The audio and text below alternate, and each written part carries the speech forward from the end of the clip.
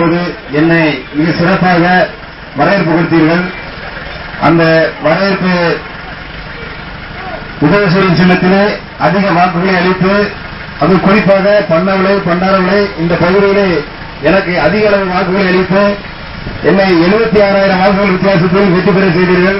குறிப்பாக சிறுவைகுண்டம் சட்டமன்ற உட்பட்ட பகுதியிலே இருபதாயிரத்தி சில்லறை வாக்குகளை அதிகமாக பெற்றுக் கொடுத்தீர்கள். நீங்கள்தான் என்னை நாடாளுமன்ற உறுப்பினராக்கி உள்ளீர்கள் உங்களுக்காக இழைக்க எப்போதும் கடமைப்பட்டுள்ளேன் எனக்காக உழைத்த கழக செயல்களுக்கு அனைவருக்கும் நன்றி. உதவி சொல்லி சின்னத்தில் வாக்களித்த வெற்றி பெற எல்லாருக்கும் நன்றி என்று தெரிவித்துக் கொண்டு விடைபெறுகிறேன். நன்றி வணக்கம்.